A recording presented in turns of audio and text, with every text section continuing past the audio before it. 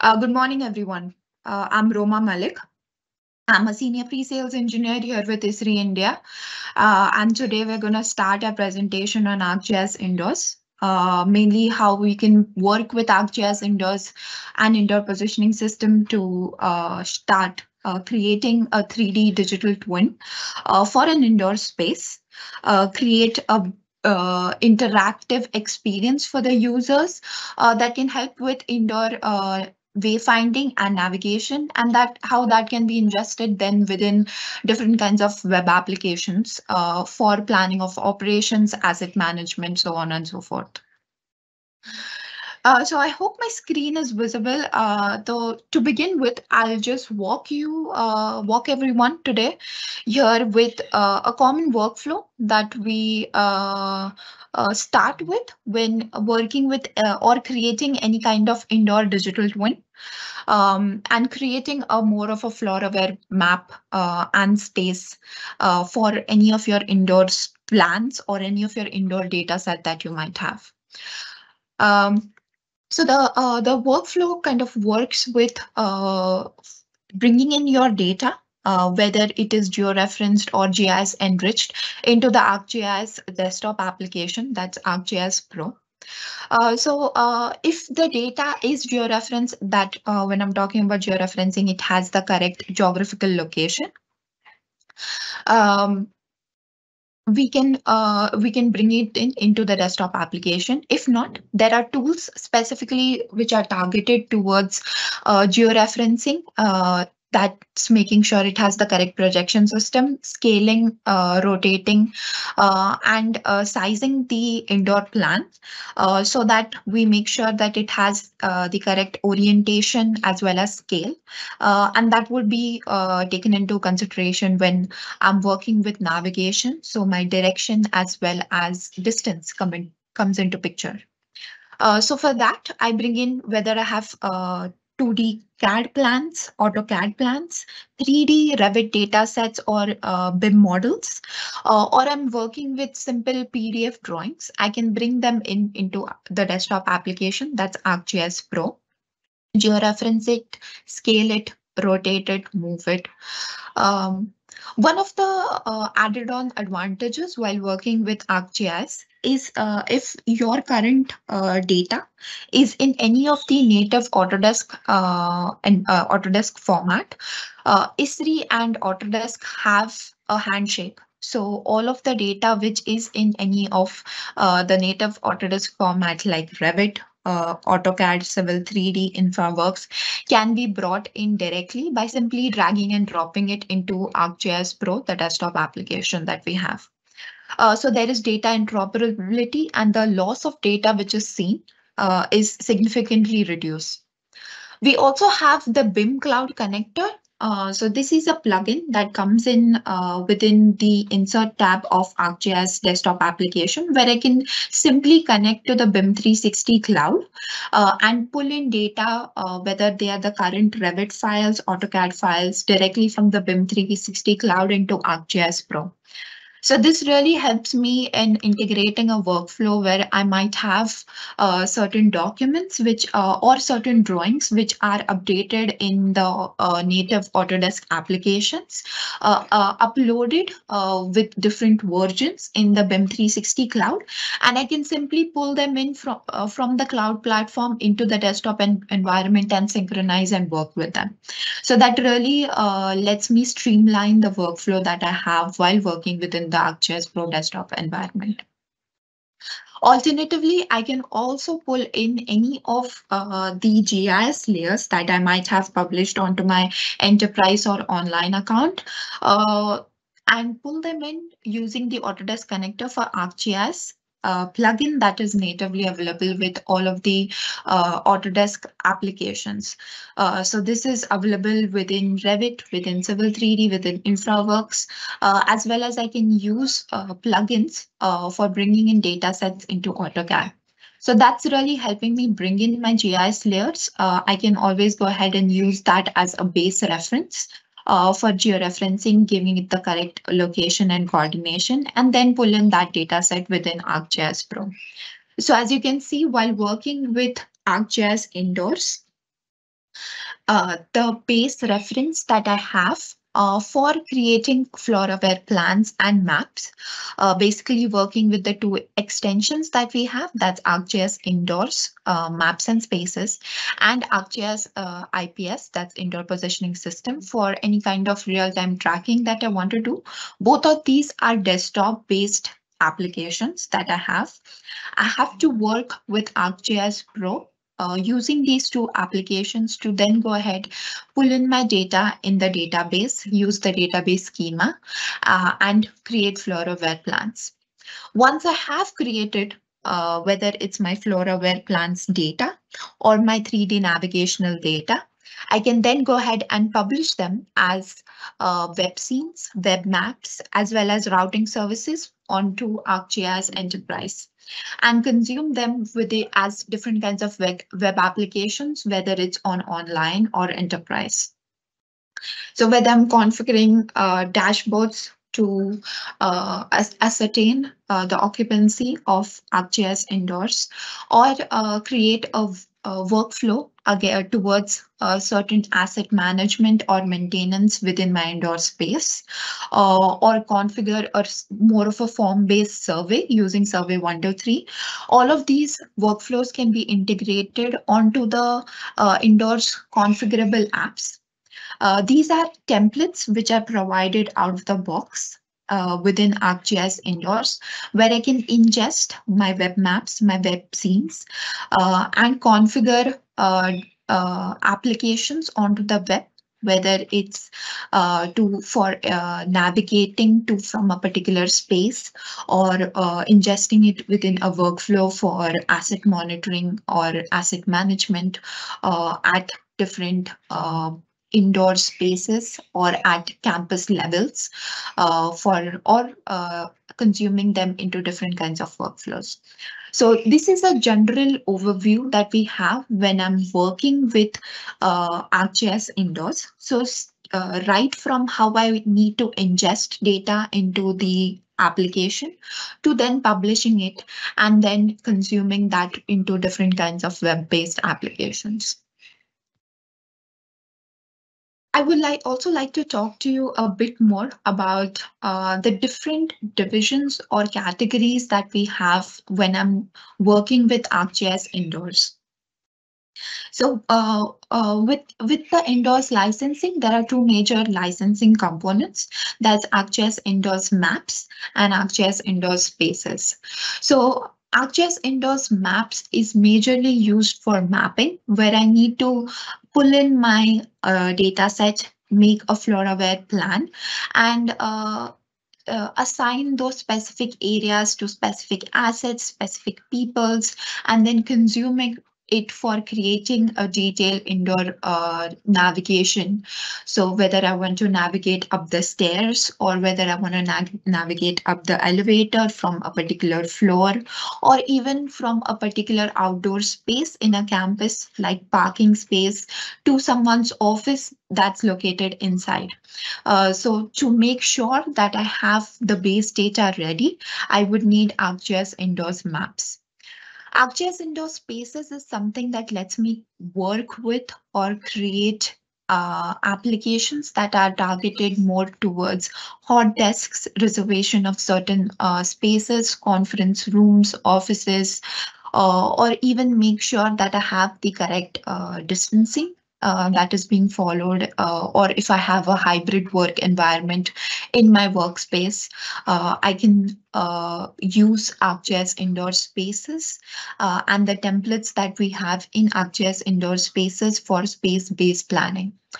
I can further use uh, these data sets that I have created using both ArcGIS Indoors Maps and ArcGIS Indoor Spaces and consume them within dashboard-based application to understand the occupancy, to understand which spaces or uh, desks or conference rooms have been reserved, um, and uh, even uh, understand the utilization and the percentage utilization of these spaces. The uh, complementary part of it is working with ArcGIS uh, positioning system, um, where once I have my floor aware digital data ready, floor aware maps uh, and plans ready, I can then consume uh, or work with ArcGIS indoor positioning system uh, to install uh, and have the the uh, real-time uh, uh, tracking of any specific asset, any specific worker, uh, any specific person within an indoor positioning system. So that's uh, giving me the blue dot um, blue dot awareness uh, of a person navigating in an indoor space. So that's something that's an add-on to working with ArcGIS indoors maps and spaces. Um, so before I uh, kind of move into the uh, demos uh, or um, the use cases that I have related to ArcGIS Indoors, I would like to walk you through the licensing or the licensing modules that we have in ArcGIS Indoors. So uh, whenever I'm working with ArcGIS Indoors, I would require uh, working with ArcGIS desktop application, that's ArcGIS Pro, uh, along with the 3D uh, analyst and network analyst uh, extensions. So these are going to help me make sure I bring in my data plans, uh, I create FloorAware plans, and then I not just create them in 2D, but also create in 3D, where I make sure I have the correct elevation, uh, from the ground. Uh, that's basically the height or the Z value from the ground for my indoor uh, navigation. So that's where I create the 3D based indoor navigation and route based systems. So these are the two extensions that I would require to be work working with when I'm working with ArcGIS indoors. Um, Whenever I'm working with the indoors extension within the desktop application, I can then go ahead and share them uh, as web scenes or web layers um, within uh, that can be consumed within any application that I have configured, whether it's on my mobile application or I have configured them on web. And then I'm consuming it within a kiosk or a web-based link-based application that I have. I'll be showing you specific use cases about this later on, but I would like you to have kind of an overview about how the licensing works uh, uh, before. So you can relate this information to the use case when I'm talking to you uh, through. Uh, so uh, if I am just having an indoors based application where I'm just viewing the applications, I can uh, view them as web browser based links or indoors applications on my mobile. Uh, I just need to log in and view them uh, at the organizational level if they have been shared at the organizational level. Uh, there is one part or a GIS professional who would be first configuring these applications so that my visitors or my stakeholders of the project can view that application. So the person who would be configuring it, the GIS professional, uh, the GIS analyst, uh, the licensing that would be required for them would be uh, to work with maps uh, so that they create the FloorAware plans or they use it for navigation and routing. Uh, indoor spaces is more of an application where I work with uh, creating hot desks, having a hybrid work environment, creating reservation of certain conference rooms, certain desk spaces within uh, my indoors floor plans. Uh, and if I have a workflow that is, uh, or if I'm a user uh, of ArcGIS um, indoors and I do not really want to create web-based applications uh, or I don't really have visitors. Uh, I just want to create an ArcGIS indoors application um, that can be consumed in Pro just for my uh, uh just for uh, navigating and uh, having a desktop-based survey. We now also offer indoors for ArcGIS Pro where I can just create FloorAware plans within my desktop desktop application. Uh, I do not need to have the licensing to be able to consume this uh, to uh, as uh, data within uh, ArcGIS indoors maps and configurable uh, web-based templates that I have. So I can just create my FloorAware plans within the desktop application and then share the entire Pro package uh, with another user uh, as a Pro pro-based project uh, or um, desktop-based project, pro-based project uh, that I can share that. So there are three different forms of uh, ways in which I can share my indoors maps and spaces as well as indoors for ArcGIS Pro uh, data sets that I consume um, and create. Uh, I would also need to have, uh, if I am working with web-based ArcGIS uh, applications uh, where I'm creating, um, I would need to have uh, a user type extension, a named user type extension uh, with a role of an editor and above. So that's kind of how it works with the licensing part of it within ArcGIS Indoors.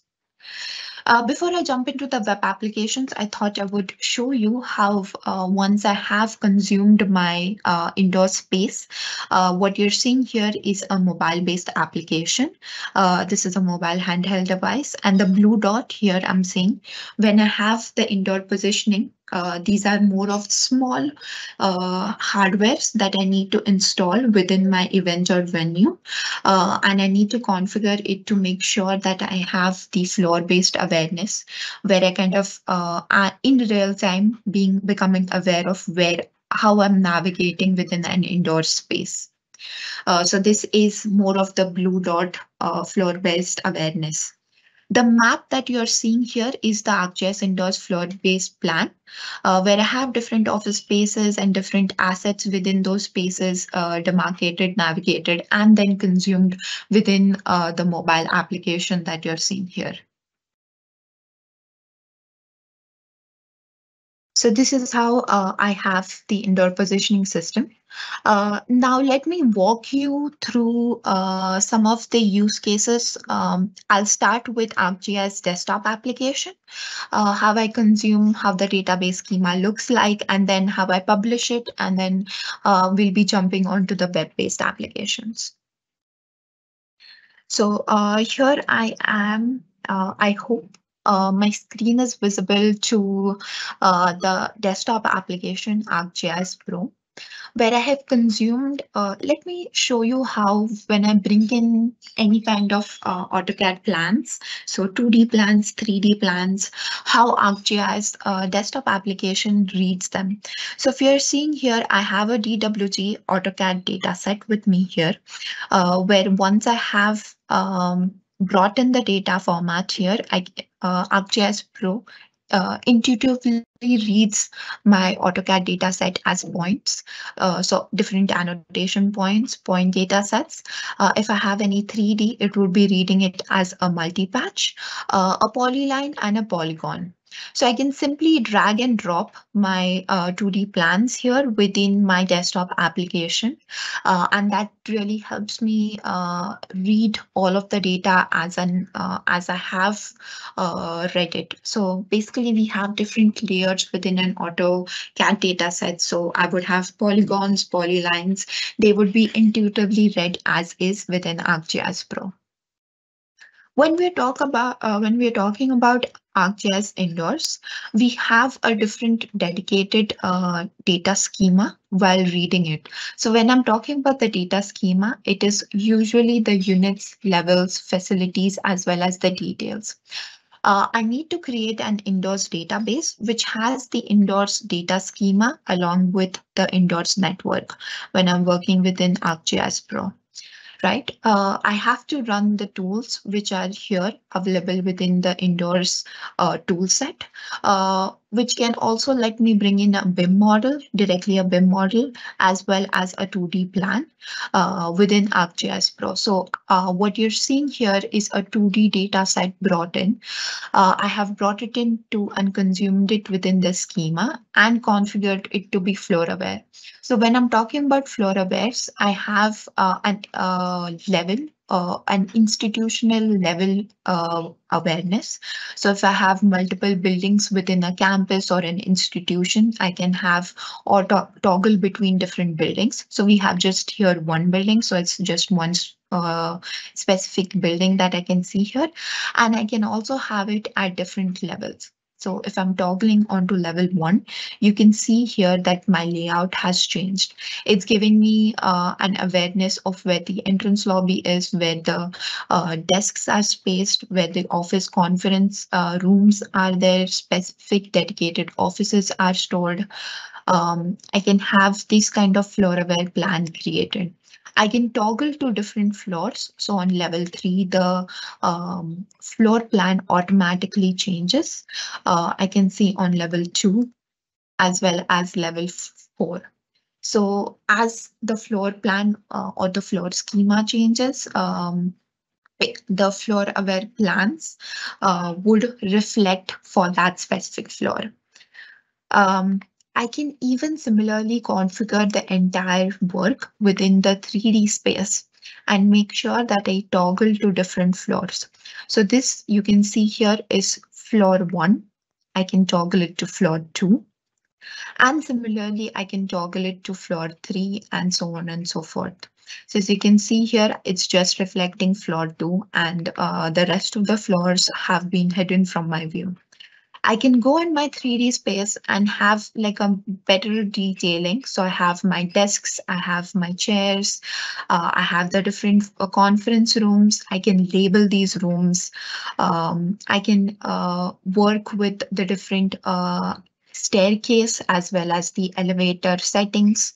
So all of this is defined within the schema that I have and I can toggle to different uh, floors um, to reflect the specific floor and the level that I have, right?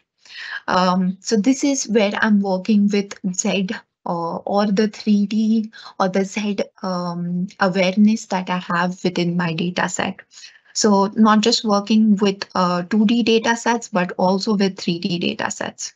Then I can go ahead and uh, work within uh, the analysis tab, uh, the network data set to figure out uh, the routing between different floors right? So if I have uh, a desk located on uh, level one uh, that I need to navigate to, so uh, this workflow again comes back uh, into picture when I'm working with a specific uh, floor aware uh, or an asset management workflow. So I have certain assets, whether they are electrical assets, mechanical assets, my mechanical vents uh, within an indoor uh, space, um, uh, certain plugs, lights that I have within conference rooms, desk spaces.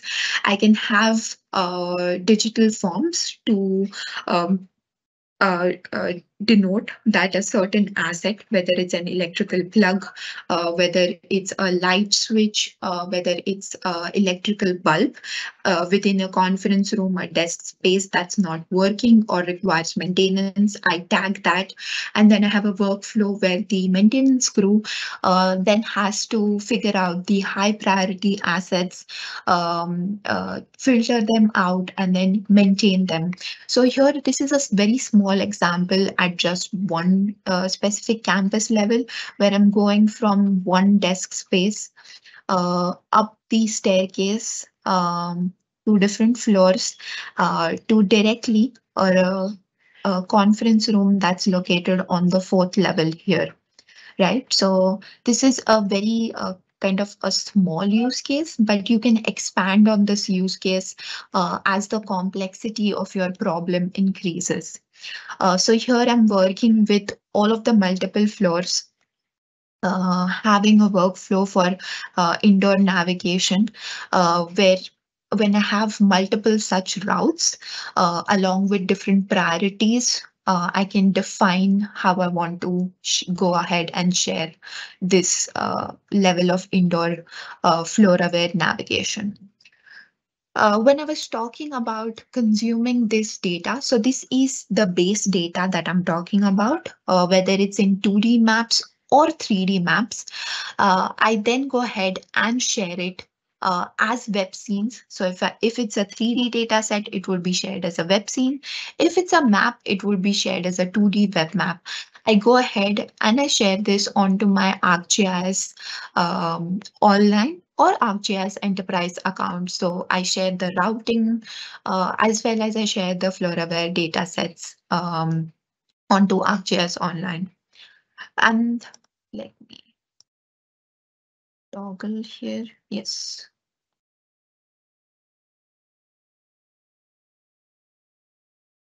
Uh, so let me just quickly sign into my uh, ArcGIS online account here. Sorry about this delay. Yes.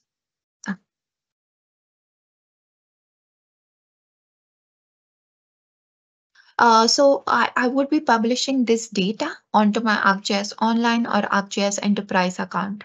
When I have uh, published this data, let me till then, yeah, refresh the rest of the tabs. Yeah. Um, I would be consuming this within a browser-based application. So the beauty of this is this is the data that I have uh, published onto my ArcGIS online account, which I'm consuming into a web browser-based application.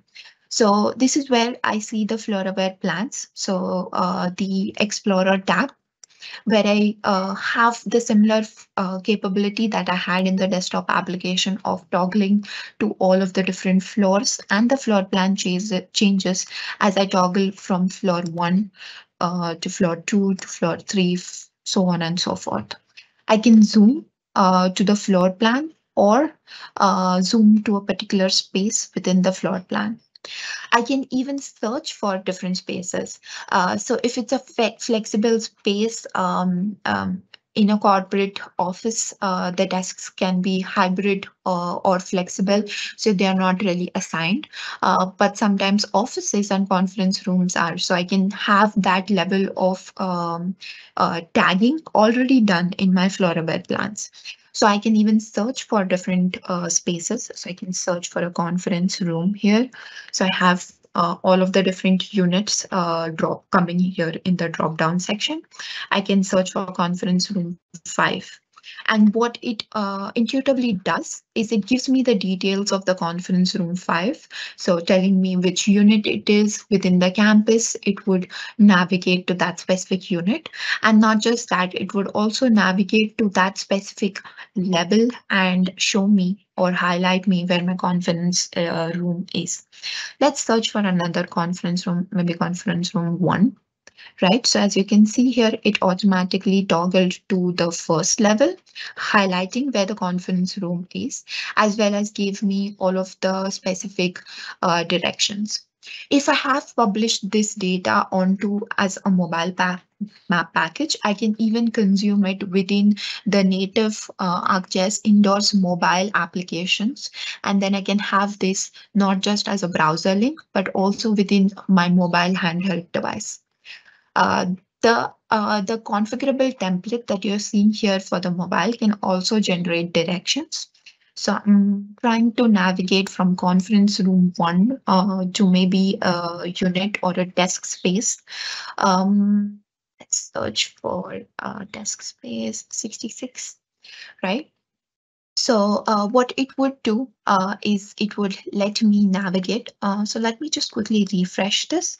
Uh, it would search for directions and let me navigate uh, to uh, from one space to another.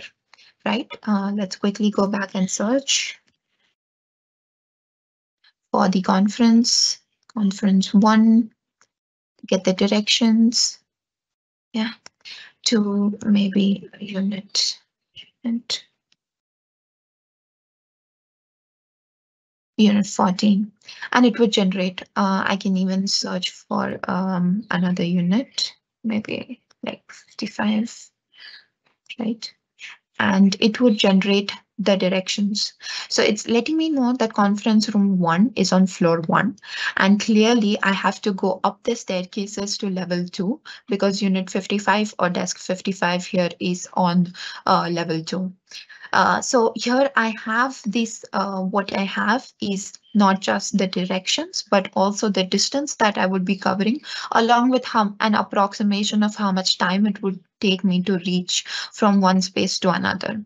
So when you have multiple buildings and multiple uh, assets that need to be maintained on uh, at different priority levels, I can have this uh, uh, even more generated, even more in depth.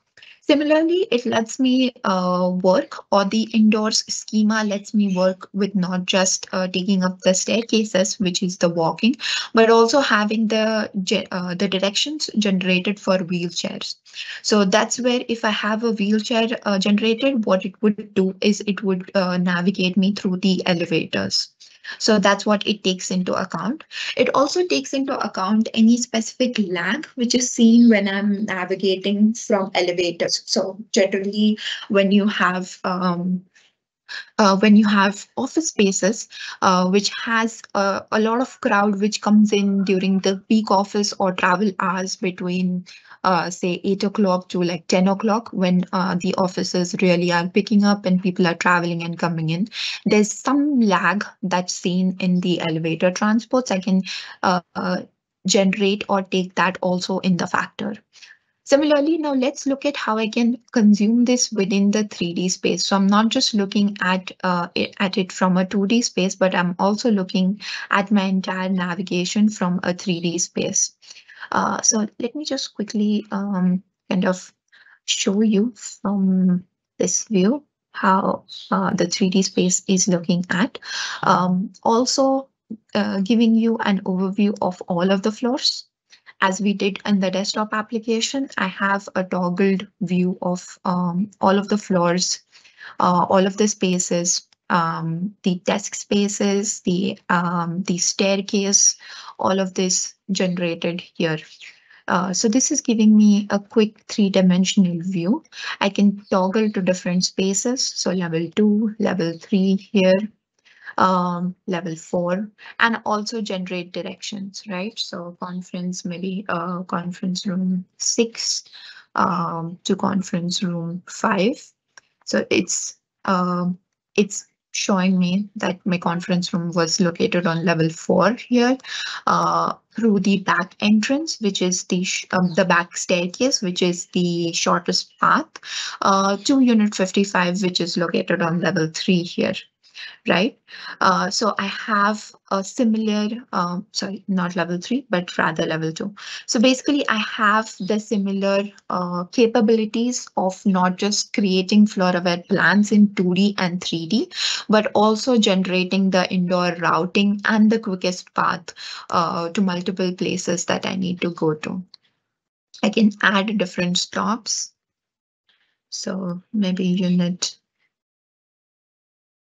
11 and the route would then be generated for me, right? So not just a, a, a quick way in which I can navigate, but also share.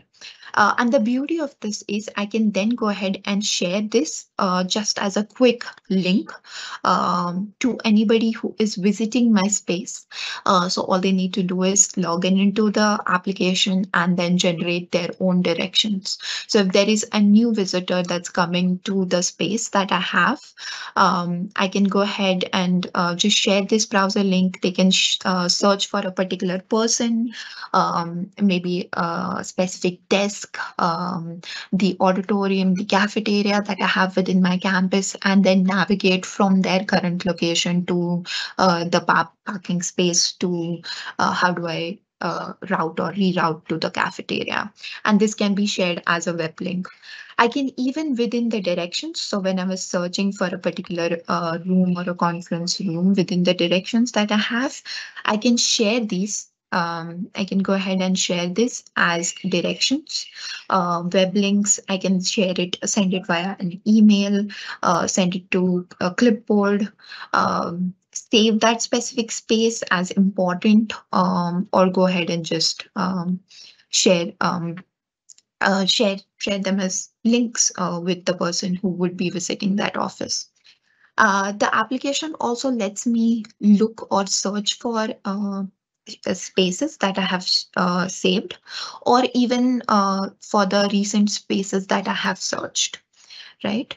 Um, I can even go ahead and explore here. So again, kind of uh, when I have multiple spaces or multiple levels within the or multiple buildings within one campus property, or even if I'm navigating from the parking to the uh, campus uh, to a particular floor on the campus, I can go ahead and explore the areas.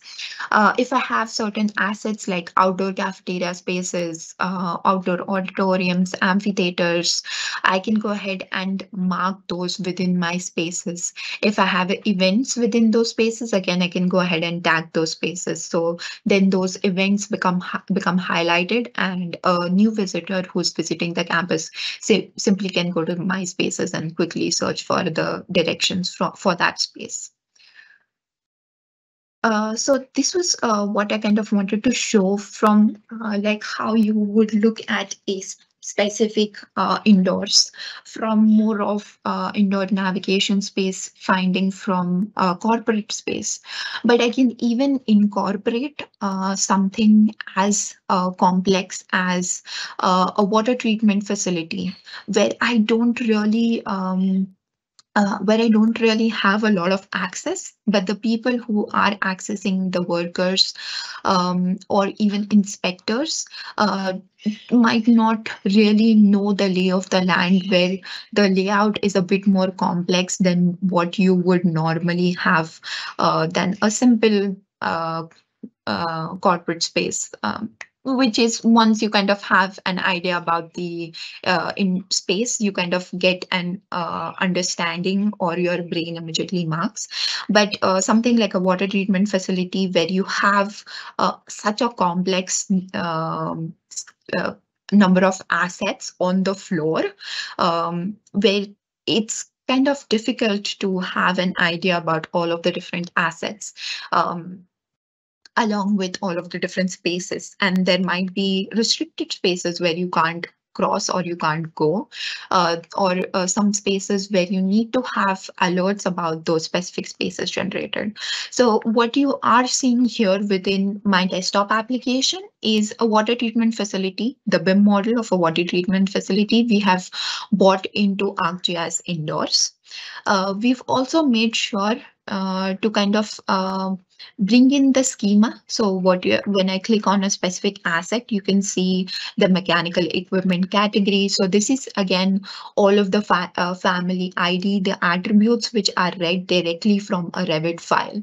So you can see the elevation, the distance, uh, the hazard system, all of this, uh, all of the specific details about that water treatment facility. So I can have different assets, all of those tagged, and all of that backend information information brought in within ArcGIS Indoors. Uh, what uh, I can also do here is bring in my utility network. So I can run traces, I can uh, run um, upward trace, downward trace for a specific asset as I'm tagging it um, and making sure I get to know which specific asset is linked with which uh, other related assets, uh, which is the upstream flow, what are the connections for a specific asset. I can uh, run them, validate them, basically uh, have the utility network also configured within uh, the ArcGIS Pro desktop application. So once I have all of these integrated integral information or base information created. I similarly go ahead and then share this and I uh, can share this uh, within uh, desktop uh, web-based applications that I have from the desktop application that I have created the information in. So here I have a pretty complex uh, water distribution system uh, here where I have different assets from the field, so different demarcated areas. Uh, this is more of a utility network that I have. Um, if I have them configured, uh, that's awesome. I can read this uh, and uh, what I do have here is the uh, uh, the water treatment facility for which I have just an a view of the utility network outside, but I don't really have the knowledge of what's happening inside the um, inside my water treatment facility. So that's where indoors comes into picture, where I have the FloorAware 2D plan created, um, where which it's giving me information on a specific first floor, what I have, or what are the different valve assets um, uh, that I have uh, how is the floor plan looking like, as well as uh, what is the different, uh, what are the different assets on the second floor, where are the offices, where are the break rooms, all of this can be configured within the indoor space. Uh, again, if I'm searching for a specific valve, uh, I am an inspector, right? I am new to this facility. I don't really know the lay of the land. Uh, so I can search for a specific assets, uh, specific asset, so an isolation valve, right? Um, it would toggle to that specific highlight that specific asset give me uh, the information that I have in the backend and even I can even search for directions right? So from uh, maybe a particular office or uh, let's search yeah um, from a particular office. Uh, what is kind of the walking distance? So again uh, distance direction time um, how I would have to go up, uh, basically go up, uh, down the staircase from the office space. So that's located on floor two um, to the isolation valve on floor one. And then I can have all of this visualized in 3D. So I can have or demarcate zones which I cannot cross and uh, the indoors uh, routing would make sure that I'm not really crossing the areas um, that are not really accessible on foot. So it's asking me to go from the office space down the staircase, um, back the uh, the just enough space that I, one man has uh, across uh, the asset and then locate the isolation valve. So this is really um, how I can have or work with indoors for a really complex um, 3D facility that I might have. And again, I can bring my um, uh, basically the 3D um, data set with information um, and then configure it for indoors application right? Uh, so not just working with um, uh, working with corporate spaces, but also working with somewhere with which has um, uh, with water treatment facilities or even uh, different industrial areas which have a lot of different assets which uh, with a lot of different connectivities or which might have certain restricted spaces that you cannot have people go uh, even for inspections. So how would they navigate these complex areas? So that's where ArcGIS indoors comes into picture where you have all of that data set and then the indoor visualization of um, all of the different um, data that you're consuming from the desktop application. Uh, so that was it for uh, our session today from my side.